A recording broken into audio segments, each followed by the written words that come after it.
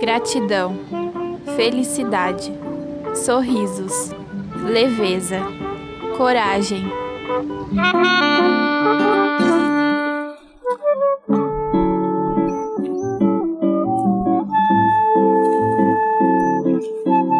Para mim, foi muito mais do que um processo terapêutico.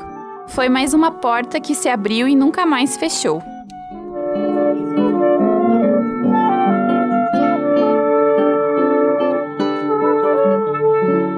Quando comecei em grupo da escola, nos reunimos numa sala cheia de instrumentos, sons e imagens, um lugar onde eu podia ser quem eu era.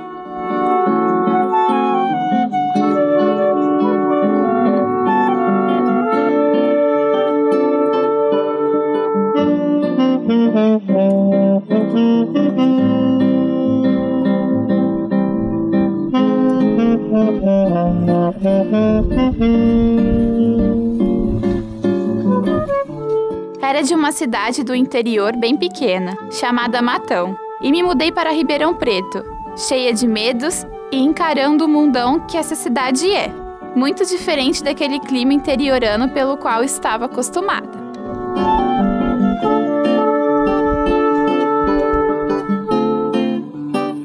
Motivos esses que me trouxeram para dentro da musicoterapia e motivos pelos quais agradeço por ser quem sou hoje.